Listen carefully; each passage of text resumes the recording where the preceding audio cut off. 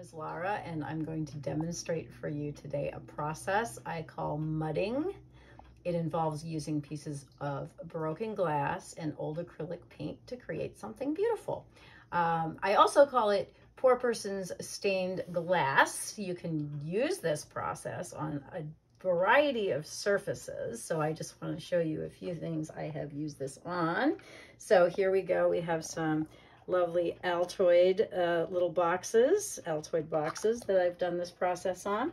You can see uh, this box here, a little jewelry box I've done the process on. Uh, let's see, I uh, have tried it on an old violin. Don't worry, no violins were harmed during this process. This was a violin that had a huge crack going through it. It was not repairable.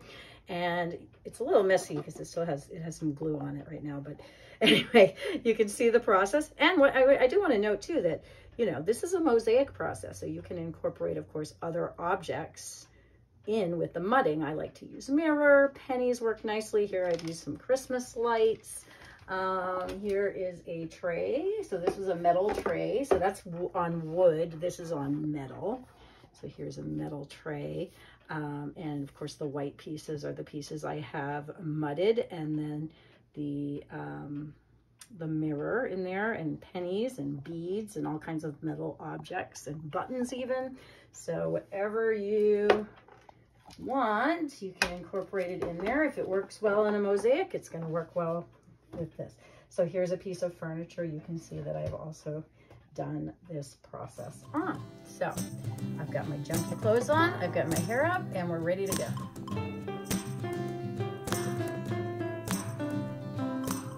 Okay, so before I begin to show you this technique, I do want to go over a couple of housekeeping items. So first of all, safety. You are using broken glass for this project. I would advise that you not do it with children. And I would also advise that you wear protective equipment to your comfort level. All right, so next I wanna go over some of the equipment you will need. You will hopefully have most of this stuff and not need to buy much of it. You might need to buy a few things, but this is a repurposing project. This is a repurposing technique. So we wanna use things that, um, you know, that you already have. We wanna use um, old paint. We want to use broken glass. You don't want to buy paint for this process. You can if you want to, but, and you don't want to uh, deliberately break glass. Okay, this is repurposing we're doing. All right, so first of all, what you will need eh, are some paint brushes of various sizes. You're going to use the paint brushes to put the paint on the back of the glass pieces. So if you have small glass pieces, you'll need small paint brushes. If you have large pieces, you will need bigger ones.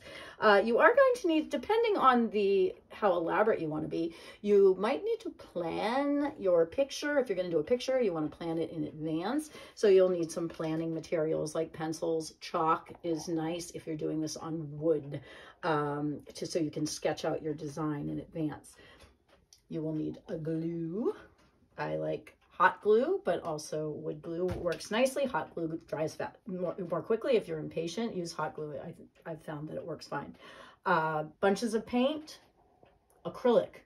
Uh, somebody gave me a bunch of paint, so I have, this is what began this entire idea, was the fact that I had all this, these different colors of acrylic paint. I didn't know what to do with it. So this is a way to use old paint and it has to be acrylic. I haven't tried it with any other type of paint.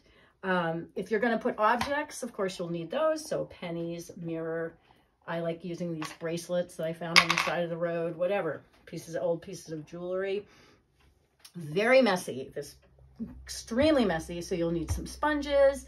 You, I always want to keep somewhere nearby, a couple of rags, one dry, one wet, usually works nicely. You are going to make a mess, especially if you're um, clumsy like me. All right, next, um, you, you'll need your grout. Okay, that I, I'm assuming that most people know how to grout. If you don't know how to grout, you can probably find out pretty easily. It's not difficult. I'm not going to be grouting in this demonstration. Um, and your glass pieces. So one piece of advice here with your glass, I like to separate it into small, medium, and large. That way Uh, well, I'll tell you why later, but it's a good idea to separate it, small, medium, and large. Um, and I like to keep my glass in trays so that I can easily sort of sort through it to find the pieces that I'm looking for.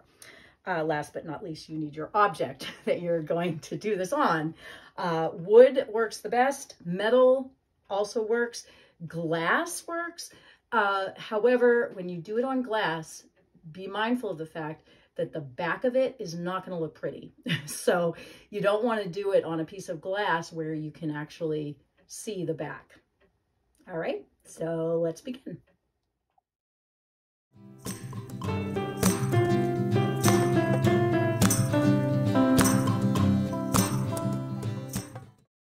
So poor person's stained glass is a very simple technique and you may be saying to yourself, okay, so I take paint, I slap it on the back of a piece of glass and I stick it to a surface and then I grout it. Yeah, that's basically it, okay?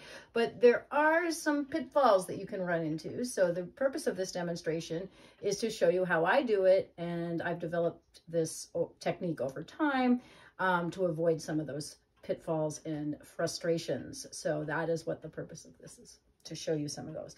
All right, so first of all, the first thing you want to do is plan. Now, if you're just going to do one color and, you know, it, you're not going to do any designs, you can just build it randomly. So you don't have to go through this step here. But if you do want to do some designs, uh, flowers, animals, you know, any kind of animal, any kind of flower, you know, designs like that work very nicely um, then you're going to need to plan, okay? Because you're going to do your designs first. You're going to lay down your designs first, and then you're going to build your background around your designs. So here I am just going to work with cardboard because, uh, you know, just for demo purposes, I wouldn't recommend doing this on cardboard, okay? And I've already sorted through my glass, and I've pulled out some pieces that I'm I think would look nice in a flower. Okay, so that's what we're gonna do is, is a simple flower. I like to have a centerpiece, so here I've taken a nip cap. uh, people throw their nip bottles everywhere. I pick them up and I use the caps in the design and I recycle the bottle. Very, They work very nicely in these.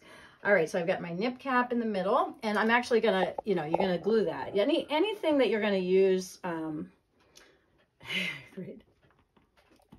Anything that you're gonna use in that's not actually glass, you probably want to glue that down first, okay? And then, you know, you're going to plan your design. So I've already gone through my glass and I've found pieces that I like for a flower, and you're going to lay them out, you know. So, you know, this actually took, took more time than I'm taking here because I've already selected my pieces. But selecting the pieces is really the fun part, I think. Okay, so lay out your pieces. For flowers, you know, triangle, triangles work, long triangles work nicely. Okay, there we go. And there I've got my design. So then I'm going to trace, you know, with some chalk. Oops, that's all right. this could, it doesn't have, this is not precise, so it, it's fine. I just want to kind of know where my flower is going to go. All right, so I've done that. That's my planning. All right, and very then, important you're going to paint, okay? Paint in advance. Paint in advance. This is an important tip, all right? Because if you don't paint into, in advance, you're going to end up with pieces with with unsightly gaps that do not, I think, do not are not aesthetically pleasing. So you always want to paint in advance. So you've selected your colors. I've selected yellow and white. By the way, um, because that's what I happen to have. This is old yellow that somebody gave me and some old sort of iridescent, it's more like silver paint. Um, and I selected these colors in a very deliberate way. Okay, this is a, this is a tip.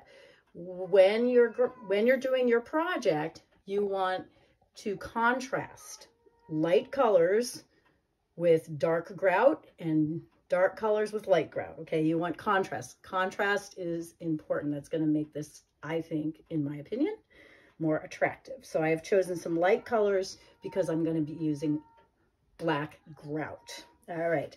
So I've, so, so I took my uh, trace and then I, I painted. I pre-painted, always pre-paint.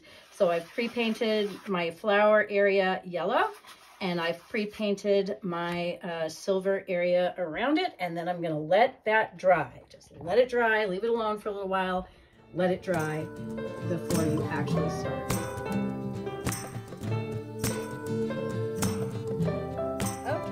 You have your surface and you've plotted out your design and you've pre-painted and you've let it dry and now you're ready to mud. All right, so some tips with mudding. So first of all, make sure your glass pieces are nice and clean. I always keep a damp rag around for that purpose to make sure that there's nothing on them. And then I'm going to mud. So I'm going to take, so once again, I've already planned this out, right? So I know the pieces I want to use. So I'm going to take my paint. I'm going to put a nice, gen so generous is the key, okay? Don't, do not be sparing. All right, you want to get rid of this old paint. It's been sitting around too long. You want to get rid of it. So be generous.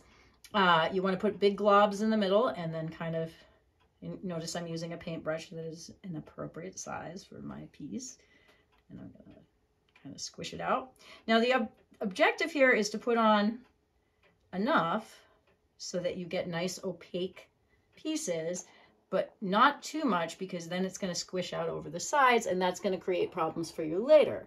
Not problems that you cannot fix, but you want to avoid it if you can. Okay, so uh, you just stick it down there. Boom. Okay, then I would go all the way around with all my pieces, my pre-planned flower. Okay.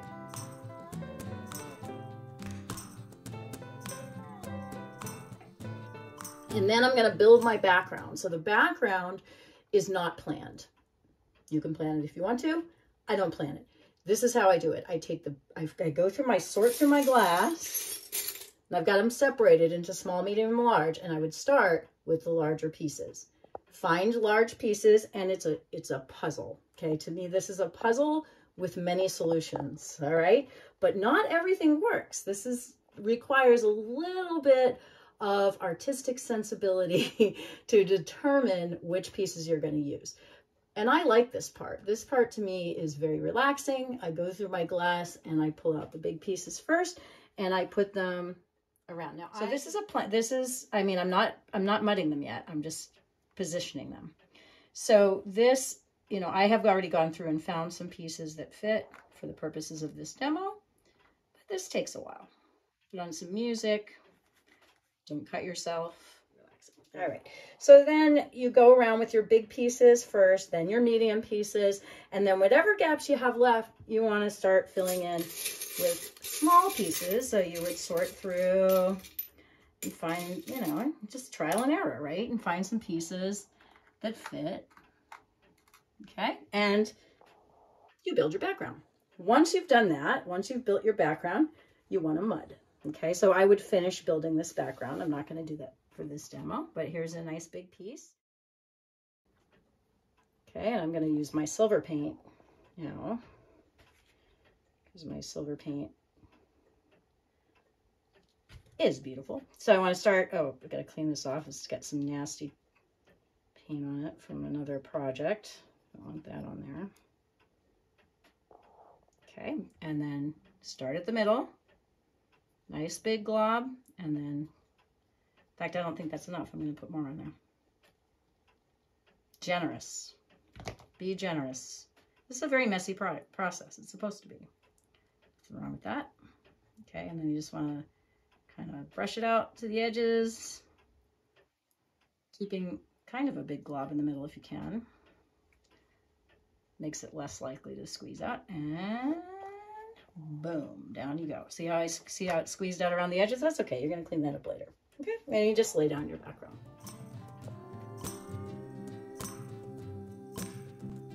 All right, so you've done your mudding. You have uh, done your background and you've done your, your flower.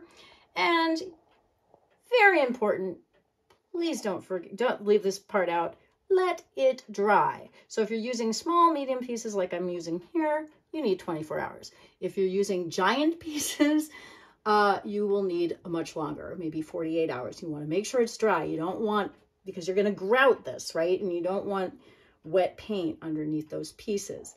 Also, your pieces will slide. They'll slide if they get too wet. So you don't want to get them too wet when you grout, and you don't want to get them too wet as when you're cleaning them off, which I'm going to show you right now, especially these little pieces. See these little pieces? They will move. So gentle, gentle, gentle is the key. So before you grout, so you've finished your design here, right? But before you grout, you want to clean it off. You want to clean, see all this paint on the surface? You don't want that. You don't want that on there. Do not leave this step out.